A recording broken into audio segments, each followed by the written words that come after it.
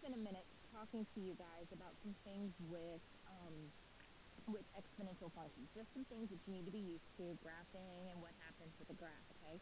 First of all, I want to say that exponential growth means that um, that your graph is going to go up. So the basic function um, of all exponential functions is y equals ab to the power of x, where a is the initial amount that you're starting off with, b and b is your rate of change, okay, whatever you're multiplying by. And if b is greater than 1, you're going to have a growth.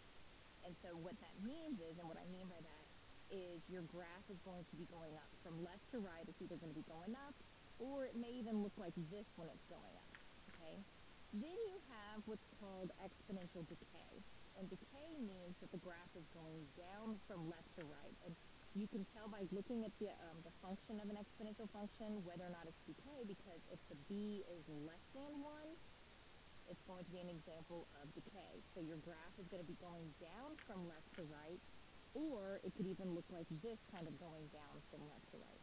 Okay, so exponential growth means your graph is going up from left to right. Exponential decay means your graph is going down from left to right.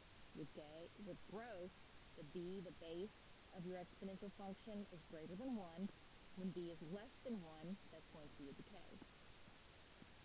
So going back, let's look at this example right here. We have y equals 2 uh, times 3 to the power of x.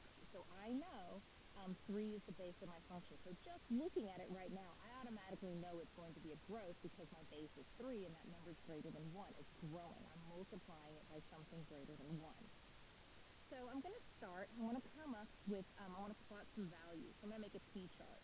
Now, um, in the calculator, I've shown you guys how to make a table in the calculator. Um, I'm just going to use values of negative 1, 0, and 1 right now, just to kind of um, get my idea here. So uh, of my points. But you could always use your calculator to come up with your points by putting this function in the table part of your calculator.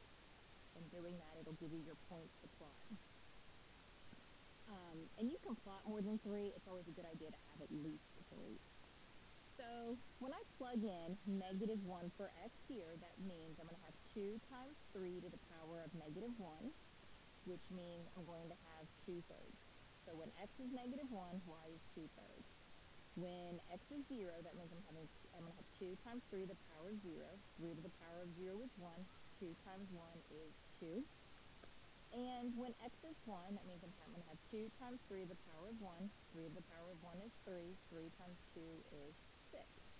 So I'm going to graph these points. That means this point is negative 1 comma 2 thirds. I'm going to go negative 1. I'm going to go up about about two-thirds. Remember, I know you're not going to be able to get exact, but you know, get as close as you can. Uh, when x is 0, y is 2. And when x is 1, y is 6. And again, if you want to keep graphing these, you can. Like if you want to keep plotting points, you can. The more points you plot, the better of an idea you're going to have of what's going to happen with the graph. Um, but this is about what this graph will look like. Now, looking at this graph, there's a couple of things that we want to talk about. That's called end behavior, and that means what happens as the graph goes in each direction, okay? Now, as x approaches positive infinity, okay, here is, here's our x and here's our y. As x goes towards positive infinity, the function f of x, the graph, what's happening to this graph? So as we go out this way, this graph is increasing. That means that it is going up. Okay? That means it's going up towards positive infinity. Well, as x approaches negative infinity, f of x, this means as x is going this way, because this is this is um, negative infinity, and then this would be positive infinity. So as x goes towards negative infinity, we're going to say that f of x is. It is not decreasing. If it's decreasing, you're saying it's going all the way down.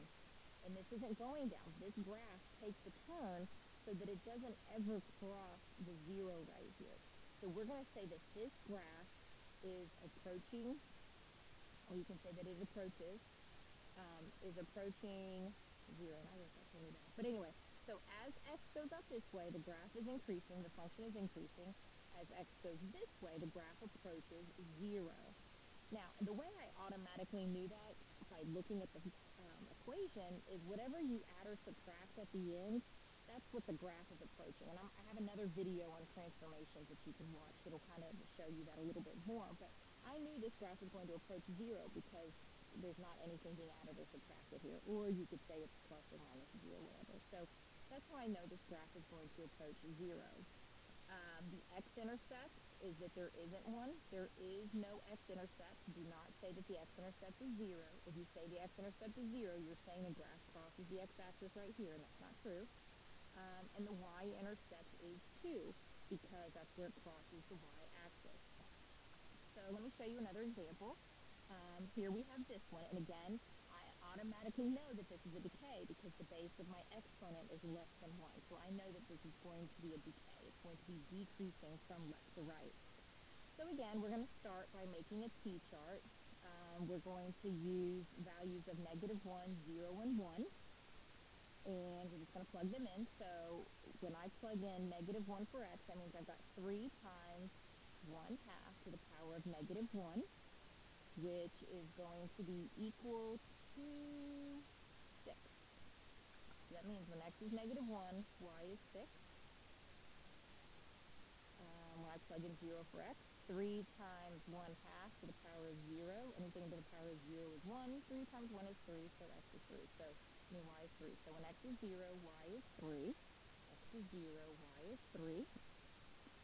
And then I'm going to plug in 1 for x, so it's 3 times 1 half to the power of 1 which is going to be 3 over 2, or 1 and 1 half. So this means when x is 1, y is 1 and 1 half.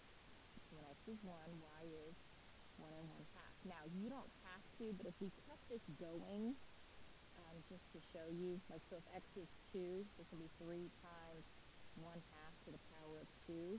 That is going to be 3 fourths. So that means when x is 2, y is 3 fourths. Having a little bit more having more points tells us whether or not where this graph is going to make a curve. So, ooh, that was um, so I'm going to graph this right here so we can kind of see what's happening to this graph, okay? So talking about end behavior, um, as, as x approaches positive infinity, here is x, and this is it approaching positive infinity. As x approaches positive infinity, f of x approaches 0. Okay, it's approaching 0. It's getting really close to 0. It's not going to touch it, but it's going to get really, really close to it, okay? And then as x approaches negative infinity, this is x approaching negative infinity in this direction here. Well, as x approaches negative infinity, f of x is increasing.